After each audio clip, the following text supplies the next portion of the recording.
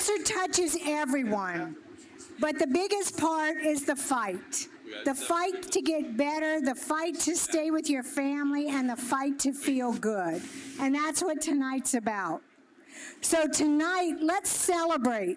Let's celebrate the journey, let's celebrate the fight, and let's celebrate the support. Mary Bird Perkins, Terrebonne General, we've all been here to make sure that we're part of this community. Cancer does touch our community and all the other communities, and will always be here to provide care to assure that you have something close to home. But more, I guess more important tonight, we want to hear from our survivor and our guest speaker, Ms. Christy Colley. She's a breast cancer survivor. We're extraordinarily proud. She got uh, diagnosed with breast cancer in July of 2022. She got care at our facility, Terrebonne General Mary Bird Perkins, and she wants to tell you about her journey. But most of all, what I want to tell you is she's never really public did public speaking before. Please make her feel comfortable. She's extraordinarily nervous. Give her a big round of applause and make her feel supported. All right. Good evening, and thank you for having me here tonight. As you know, I am a wife and mother. What you do not know is that I'm also one in eight. One in eight women will develop breast cancer in her lifetime. I am one of seven, one of the seven members of my family to have had cancer. And lastly, I am one of three, one of the three survivors in my family. You see, my family was first affected by cancer in 1992 when my dad's sister was diagnosed with throat and lung cancer and passed away two years later. Throughout the years, my maternal grandmother battled cancer on two separate occasions, first with colon cancer and then again with kidney cancer. My mom's brother suffered with lung and brain cancer, and my father's brother, my godfather, passed away four short months after finding out that he had stomach cancer. The survivors beside myself are my mother's sister who has stage four liver cancer and my nephew who was born with a neuroblastoma on his tailbone. Happy to say that he'll be turning nine at the end of April, very happy and healthy. my journey began in June of last year. I had just had hand surgery when I believe Mocha, my little wonder pup, discovered my lump. As she jumped to sit on me, I moved my hand as to not get hit, and she landed on my chest with her two front paws. After that, she continued to swat at my left breast, and which, which was tender and slightly bruised, when I felt the lump. I mentioned my findings to the tech when I went for my already scheduled routine mammogram.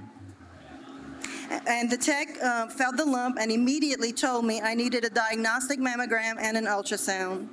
We got new orders and rescheduled for the following week, which was the Monday after Father's Day. As luck would have it, I got sick that weekend, and for the first time in two and a half years, I tested positive for COVID on Father's Day. I called the breast center and had to wait two more weeks for my new appointment. As the time passed, I began to get really concerned because the lump was still there and my mammogram couldn't come fast enough. That day finally came, and the next day I got the call that I indeed needed a biopsy, which was scheduled for the following week. Knowing the family history of cancer we had, that week was torturous. The day after the biopsy, Dr. Schwab called, and the minute I heard his voice, I knew. I was diagnosed with grade 2 invasive ductal carcinoma, HER2 positive, on July 19, 2022.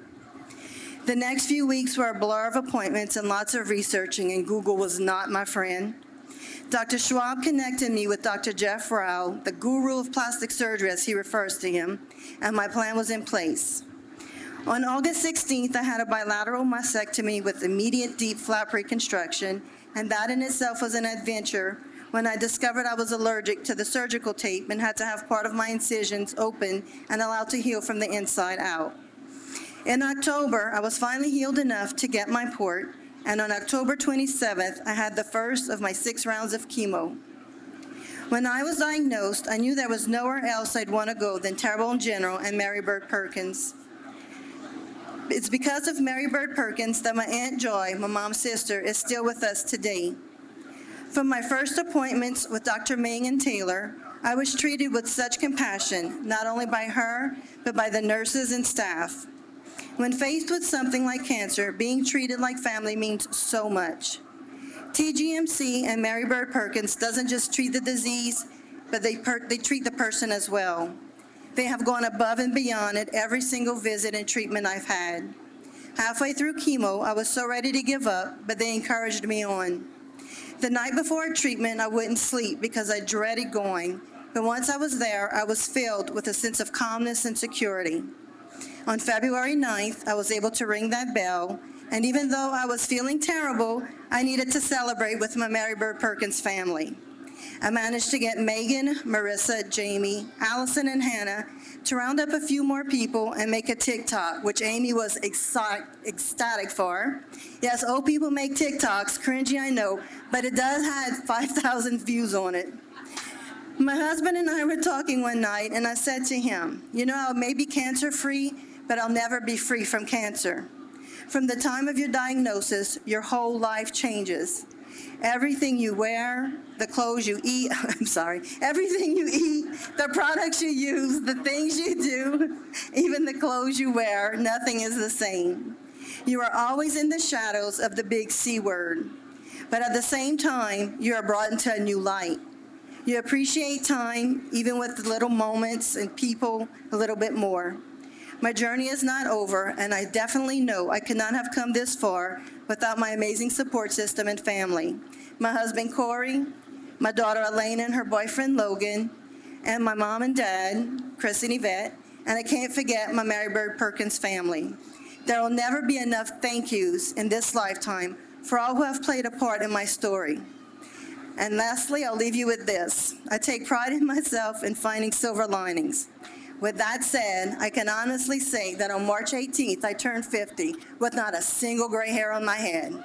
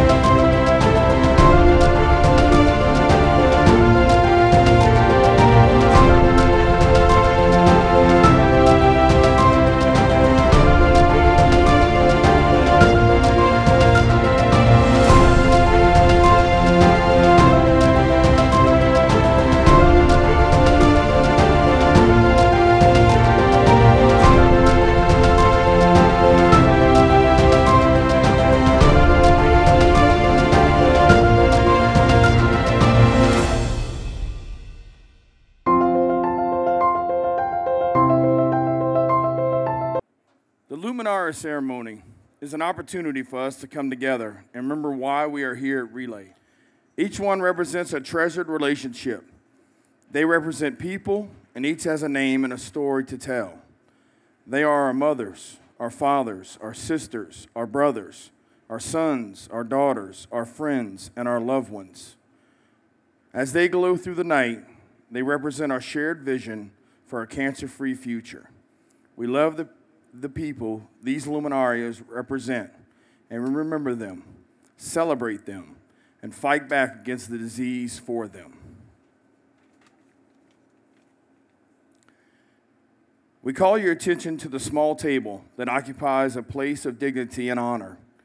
It is set for one symbolizing the fact that some of our loved ones are missing from this gathering. They have been diagnosed with cancer, and there are some of the names and faces behind the luminarias. The chair is empty. Many of those who fought the battle with cancer are no longer with us, but rather than mourning their loss, we choose to celebrate their life. These people are unable to be with their loved ones and families now. So let us join together to recognize and honor them and to bear witness to their struggle and their memory. The table is small, symbolizing the frailty of a single patient, sometimes alone in the fight against his or her disease. The tablecloth is white, symbolic of the medical profession, doctors, nurses, and researchers who help fight the battle for life. The single rose in the vase signifies the enduring love of their families and friends and the strength of the patients who will fight the disease that ultimately claimed many of them.